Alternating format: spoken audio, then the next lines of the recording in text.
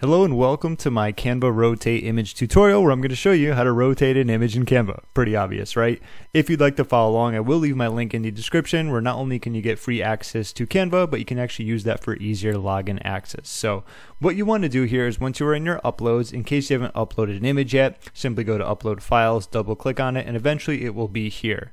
Now that we have our images, I'm just going to drag one right here. Say we want to move it into the center. Doesn't matter where it is, right? So the main thing what you want to do here is click on the image. And from there, you're going to notice that we have this arrow, these kind of arrows showing that we can rotate it clockwise, counterclockwise. Now you want to click on it press and hold and then drag it. And you're going to notice however you want to drag it is how you can rotate it. So you can go all the way over to 180, you can go all the way over to back. It's really going to be up to you. But also something I do want to tell you, let's say you move it like this and you're like, eh, I don't feel like, you know, going back to, so that it's at zero. What you can do just to make your life easier is use the undo button. So let's say you rotate it this way, you can just do this boom, back to square one. So that'll make your life a little easier so you don't have to like look for the perfect degrees every time. But very simply, that's how you can rotate your images or pictures in Canva.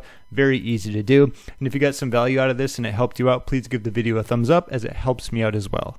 My name is James. Thank you so much for watching and I'll see you in my next video.